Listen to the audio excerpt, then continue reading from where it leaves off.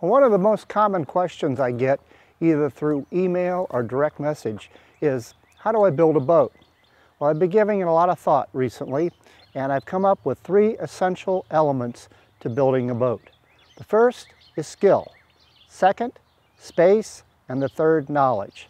So let's get right into it.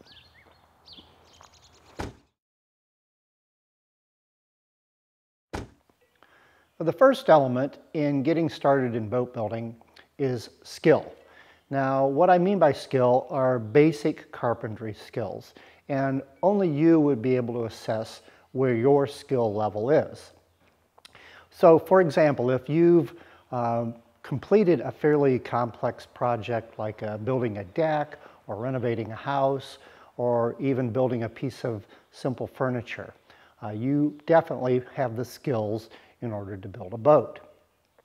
Now everybody's skill is going to be a little bit different and the more complex your skill is, the more complex boat you'd be able to build to start with. Most people like to start off with a smaller project. So if your skills, for example, are just simple homeowner kind of skills, but you do understand the properties of wood, then it's probably a good idea to perhaps start with a smaller boat. However, if your skills you think are fairly advanced, say you've built a more complex piece of furniture out of hardwood, you'd be able to build a bigger boat or a more complicated boat. Essentially, when you're building a boat, what happens is you're going to learn those skills along the way. It's very few people that begin building a boat that understand all of the processes all the way through. So for example, if you've never steam bent a piece of wood, that doesn't mean you can't build a boat that has steam bent frames. When you get to that point, you'll understand how to do it.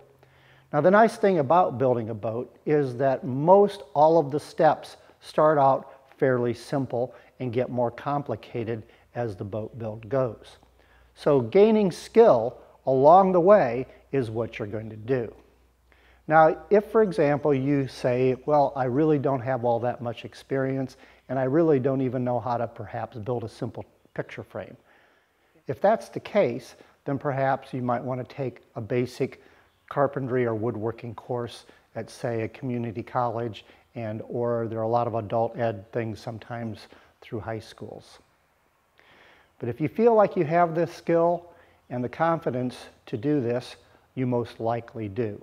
Because really what it boils down to is confidence in yourself to be able to handle the tools and to adapt and to solve problems along the way. The next essential element is space. We're not all as fortunate as myself to have this nice big space to work in. However, most of you probably do have enough space to begin building a boat, at least a small boat. So the rule of thumb is if you take the beam of the boat, the width of the boat, plus four feet on each side, that should give you adequate room to work around it. Now a very good beginning boat is a Yankee tender, and I'll put a link below to the plans for the Yankee tender. So for example, the Yankee tender is four foot, four inches. So if you add four feet for each side, you're basically talking about 12 feet. So a single stall garage is usually 12 feet by 20 to 24 feet long. So this 12 foot boat will give you plenty of space then at the end of it to set up your tools and a workbench and so forth. Now if you don't have a garage that you can dedicate to building a boat, there are other options. So one option is to build a bow roof structure. And again, I'll put a link below to some plans for a bow roof structure uh, from Stimson Marine. Now, a bow roof structure is where it builds sort of a cathedral looking sort of uh, shape, and it's probably one of the most strong and cost effective ways to build a temporary shelter. So if you have a little land in the backyard or you just only have a little space in your garage that you can set up your tools, this would be a really good option. There are lots and lots of YouTube videos on people building these structures. So please feel free to do a little Google on bow shed structures. So the other thing is that you could buy a fabric structure. And again, I'll put a link below to a fabric structure. And a fabric structure is a temporary garage that you can put either in your driveway or in the backyard or places like that. And again, a simple one that is the size of a single stall garage is generally a little less than about $500. So those are some options of things where on your space that you can build a boat. Now there are also, if you live in a large city and you only have an apartment, there are a lot of what we call maker spaces. Now I checked around my area for some maker spaces and I came up with a list of about three. And in general, they charge around $45 a month. And a makerspace is a space that you share with a lot of other people and you have a dedicated space for yourself, which would be where your boat is, and then you share things like a table saw and a bandsaw and a lot of other sort of more complex hand tools. So a makerspace is actually a really good option for people that live in larger cities. So the next part of space is the tools that you'll need to build a boat. Well, I've put together an assortment of some basic tools that I think you need to get started building a boat. So what we have here is a handsaw, and this is about a 14 point handsaw. Uh, 12 to 14 point would work fine. You need a smoothing plane and a block plane.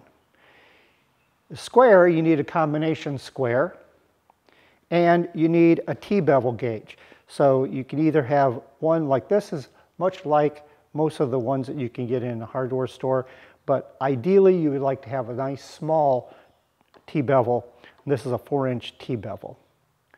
You need a pair of compass dividers, a couple of wood chisels. This is a 1-inch chisel and a half-inch chisel, a utility knife, an awl, scratch awl, a hammer, this is a 12-ounce hammer, and a couple of screwdrivers, a flathead and a Phillips head screwdriver. The basic power tools you need is a cordless drill and a set of drill bits.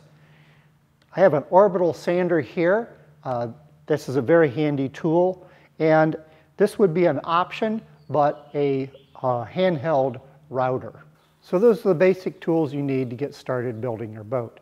Now the one thing that I did not mention was clamps and the reason being is that you don't need just one particular style of clamp. You need a lot of different types of clamps for different operations. So my advice is you start off with some very basic clamps and as you move along in your boat build, you will then discover what style clamp is best suited for that actual operation. And then purchase them as you go. As, as the old saying goes, you never have enough clamps. So in addition to these hand tools, what is the one stationary tool that I would recommend for your shop. And that would be a 14 inch bandsaw. Now with that bandsaw, you can accomplish almost every task you need in order to build a boat, from cutting curves, to resawing, to ripping, to cross cutting. All of those things can be done on a 14 inch bandsaw.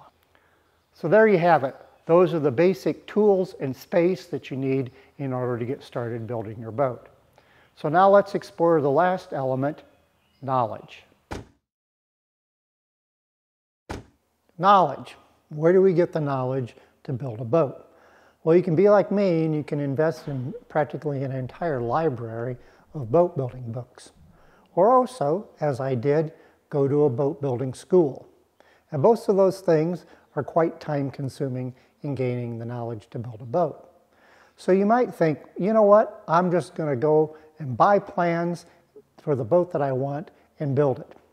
And lo and behold, you find out that it doesn't come with an instruction manual. So I've had a lot of people contact me and say, Bob, I have these plans and I have absolutely no idea where to get started. They might as well be written in a foreign language. If all of that's confusing to you, I'm offering a free consultation call for anybody that's either starting building a boat or has built a boat and you'd just like to speak to somebody about some of the problems and issues that have arisen in your boat building journey. So there's a link below that you can schedule a talk with me and I'll look forward to speaking with you. And I hope this video was informative in helping you get started in boat building. So I'll see you next time on The Art of Boat Building.